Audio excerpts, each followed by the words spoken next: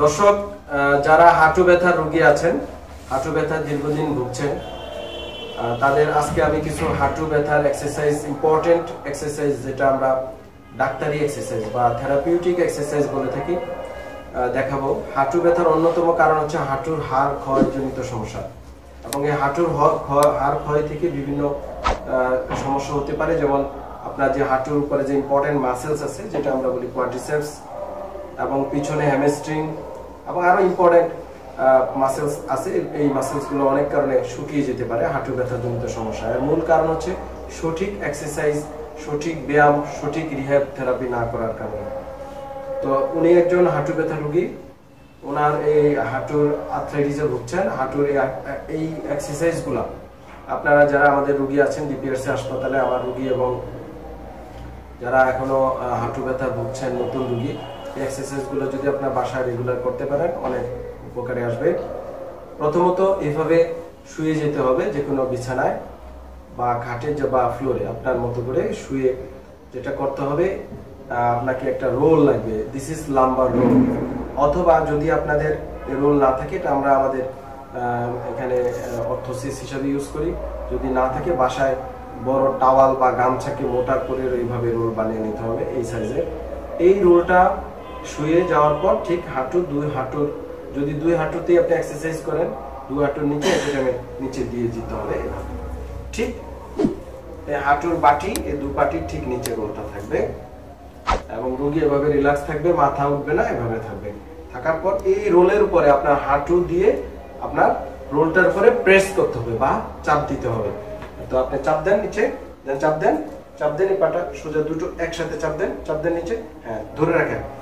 ধরে রাখতে হবে, নিচে প্রেস করে one two three four five six seven eight nine ten ছেড়ে দেন।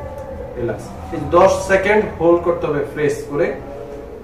আবার একইভাবে দশ সেকেন্ড মানে এইভাবে আপনাকে পনেরো, বিশ বার করে করতে হবে এবং প্রতিদিন অন্তত দুবার, সকাল, বিকাল বা সকাল, দুপুর, রাতে তিনবারও করা যেতে পারে উপকার আসবে। এটাকে আমরা কোয়াড্রিসেপস স্ট্রেন্থেনিং স্টেটিক এক্সারসাইজ বলে থাকি। এইটা, এই এক্সারসাইজ হাঁটু, ব্যথা, রোগীদের অনেকাংশ উপকারে আসবে। আপনার জোড়ার মাসেলস এর স্ট্রেংথ মেনটেন থাকবে, জোড়ার অনেক উপকারে আসবে। এই একটা এক্সারসাইজ আমি দ্বিতীয় আরেকটা এক্সারসাইজ দেখাচ্ছি, সেটা হচ্ছে এভাবে ঠিক শুয়ে থাকবে।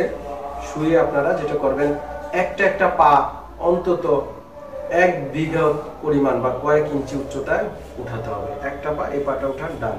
ওকে হোল্ড ঠিক এভাবে ধরে রাখবেন দশ সেকেন্ড, একইভাবে আগের মতো। One, two, three, four, five, six, seven, eight, nine, ten. ছেড়ে দেন। আবার অন্য আরেকটা পা, same. One two three four five six seven eight nine ten ছেড়ে এবং একইভাবে এটা পনেরো, বিশ বার করে একবার এটা, আবার এটা অল্টারনেটিভ এভাবে করতে হবে, শুয়ে শুয়ে। এবং শুয়ে এক্সারসাইজ সবচেয়ে বেস্ট আপনার এক্সারসাইজগুলার কিছু নিয়ম আছে ইচ্ছা মতো এক্সারসাইজ করলে হবে না। এতে আপনার হাঁটু ব্যথা নিয়ে আসছেন, আবার কোমরের সমস্যা হতে পারে ঘাড়ের সমস্যা হতে পারে। ভুল এক্সারসাইজ থেকে এই সমস্যাগুলো হতে পারে। আপনার সবার আগে আপনার দরকার কমফোর্টেবল পজিশন মানে একটা বেস্ট পজিশন সেই পজিশনে যদি আপনি গিয়ে এক্সারসাইজগুলো করেন তাহলে আপনার যেই জোড়ার বা যেই জয়েন্ট বা যে মাসেলস এর আহ, আপনার এক্সারসাইজ দরকার তারই এক্সারসাইজটা হবে। না হলে ভুল হতে পারে। এই দুটো এক্সারসাইজ ছাড়াও আরেকটা এক্সারসাইজ আছে সেটা হচ্ছে বসে করাতে হবে।